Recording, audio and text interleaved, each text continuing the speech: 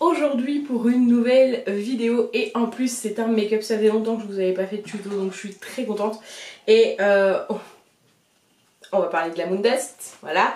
Je vous ai fait la revue avec euh, les swatchs, euh, mon avis, etc, etc, etc. Il y a pas longtemps, je vous le remets en barre, oui, en barre d'infos dans les fiches partout.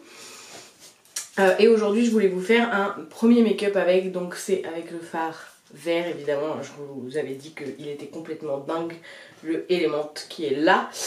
Il est complètement ouf ce phare, donc euh, c'est pour ça aussi que j'avais envie de commencer par lui euh, pour cette série de tutos. J'espère que ça va vous plaire. Je vous laisse regarder ça et on se retrouve juste après. Alors je vais commencer euh, par les yeux, une fois n'est pas coutume. Donc je vais d'abord prendre ma petite base à paupières de chez Urban Decay. Et donc c'est la Sin cette fois-ci. Voilà, comme on va utiliser des fards euh, feuilletés, c'est pas trop grave que ça soit euh, une base irisée. Donc j'en mets bien partout. Même un petit peu en dessous. Et ensuite je vais prendre ma Naked 3. Et je vais commencer avec un fard mat pour unifier un petit peu tout ça. Et je vais prendre le Strange, donc qui est le premier c'est un blanc euh, un petit peu rosé, qu'on va appliquer partout avec un pinceau euh, fluffy. Ensuite, je vais appliquer en creux de paupière le fard Dark Side, donc c'est l'avant-dernier. Et c'est un joli gris euh, mat, enfin semi-mat.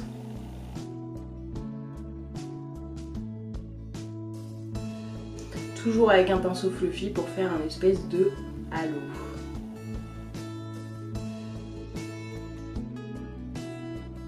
En coin interne, je vais appliquer Dust, donc le deuxième de la palette qui est un rose pâle, euh, très clair et très irisé et hyper joli, hyper lumineux.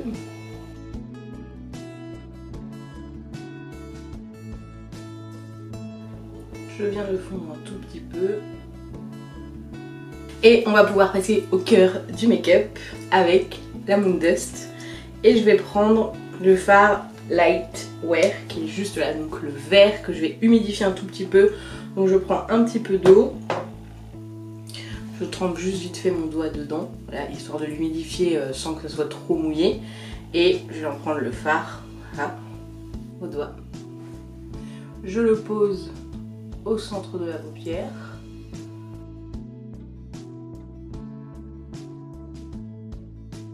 Je viens juste fondre sur les bords, c'est-à-dire à la limite du coin interne, à la limite du creux. Et à la limite du coin externe.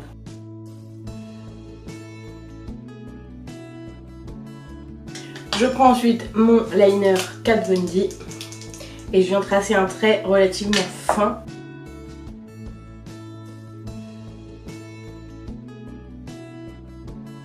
Je vais ensuite commencer mon teint avec euh, mon Magic Foundation de chez Charlotte Tilbury et un pinceau, euh, mon pinceau Evo, ça doit être le 001, celui-là je les reconnais jamais quand ils sont pas à côté, euh, de chez Iconic London.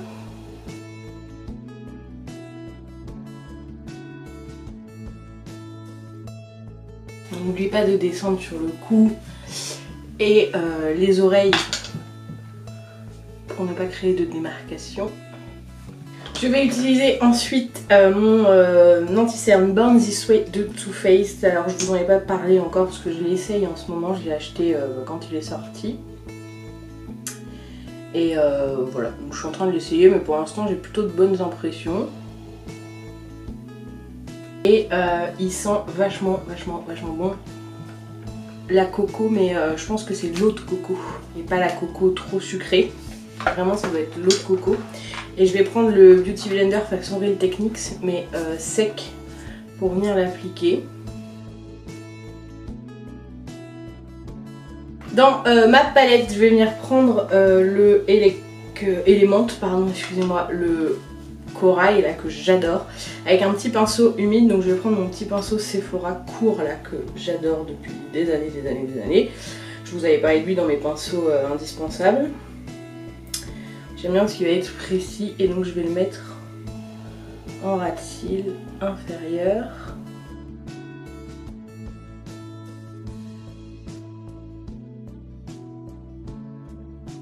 J'hésite pas à vraiment bien euh, déposer la matière, que ça soit intense. Et euh, je reviens juste prendre, donc avec le même pinceau, je réhumidifie un tout petit peu parce qu'il est devenu euh, sec. Un tout petit peu de lightwear, le vert donc, que je vais juste mettre au centre.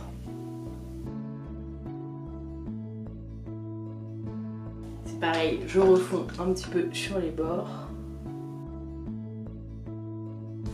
Et je viens terminer mon anti-cerne avec euh, le petit stick Marc Jacob là. C'est le Bright Now. Voilà, donc encore une fois avec mon Beauty Blender. En fait, c'est un, anti-cerne highlighter mat, celui-ci. Et en fait, il va bien faire ressortir euh, vos fards qui sont euh, très lumineux pailletés.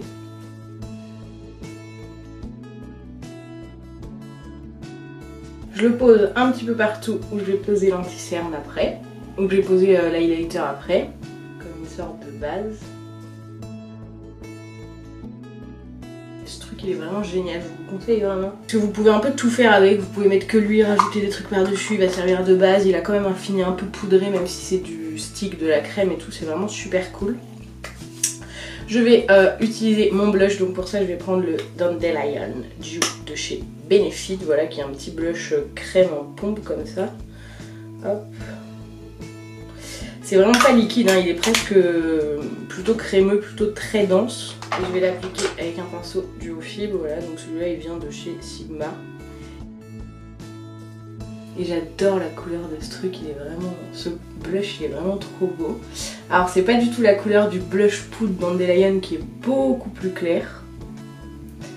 Mais euh, il apporte aussi tout de suite un petit coup de frais. Il se travaille très bien, je pense que c'est parce que justement il est très dense. C'est l'odeur des produits bénéfices, c'est à tomber par terre. Je fais mes sourcils avec le petit gel euh, Cabro de Benefit, le petit gel à sourcils, qui est vraiment top. Donc moi j'ai la, teinte pardon, 4. Donc vous avez le petit pinceau qui est intégré et tout.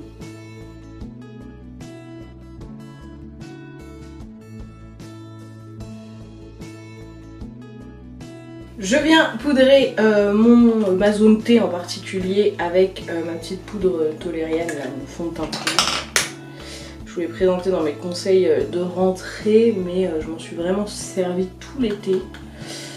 Plus en fond de teint poudre qu'en poudre, toute seule donc. Mais même comme ça, elle est vraiment top. Sur mes sourcils, pour vraiment bien les faire tenir, je rajoute la cire H&M. Normalement, il n'y a pas besoin parce que le cabro, ça les quand même ça les gaine un petit peu mais le cabro va plus les teinter entre guillemets. Donc je préfère mettre ça quand je veux que ça tienne toute la journée et mon mascara adoré d'amour que j'aime, le Velvet Noir de chez Marc Jacobs.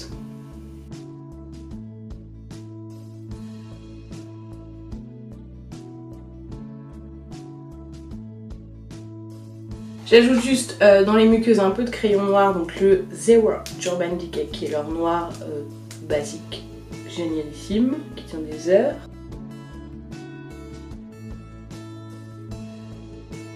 Pour réchauffer mon teint euh, comme bronzer, j'applique, j'achète, j'applique mon petit bronzer de ma palette Hourglass. Oui, ça s'appelle déjà Luminous Bronze Light, voilà, tout simplement. Voilà, en 3.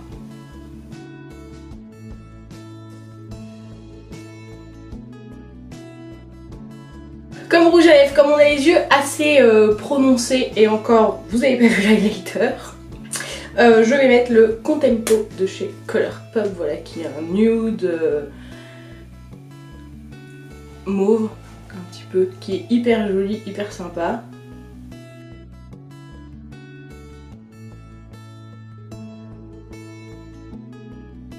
Il n'est pas trop marqué mais en même temps il vous éteint pas du tout la bouche et c'est parfait, c'est exactement ce qu'il nous faut. Parce qu'avec ce qu'on a sur les yeux, euh, il faut pas non plus que... Vous voyez Et enfin, je termine avec l'highlighter de la Moonchild Palette d'Anastasia. Euh, on va mettre le Lucky Clover ici qui est juste dingue. Donc le Lucky Clover, on le met sur les joues, enfin le haut des joues. Voilà, pinceau du haut fib mais euh, vraiment euh, tout fin quoi. Celui-là il vient de chez Makeup euh, Revolution.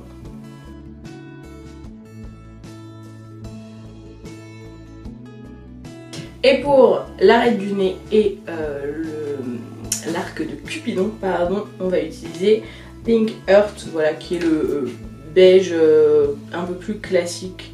Pour ces parties-là, ça va être quand même plus joli, je pense.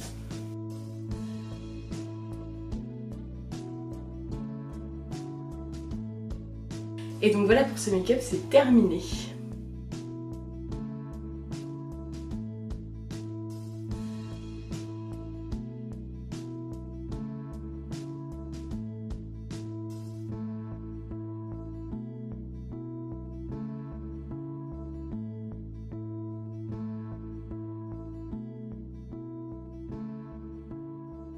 Donc voilà, j'espère que ça vous a plu. Euh, vous avez vu, c'est pas très très compliqué. En plus, on utilise pas mal le fard au doigt, enfin le, cœur du, make-up, le fard euh, lighter euh, s'utilise au doigt humidifié.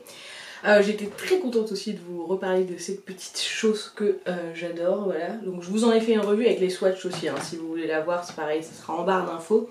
Et je vous ferai un make-up des yeux avec elle bientôt aussi. Là, il y a quand même pas mal de make-up qui vont commencer à à revenir, hein, puisqu'on a, euh, on a fait un petit peu les nouveautés, il en reste encore un petit peu que je dois acheter. Mais euh, je, vais commencer, je vais recommencer à vous faire des tutos et puis surtout que j'ai acheté des, jolies palettes dernièrement, euh, celle-ci, la Cute et tout, et je voudrais vraiment vous les montrer en action. Donc voilà, je vous fais plein d'énormes et on se retrouve très bientôt dans une prochaine vidéo. Bye bye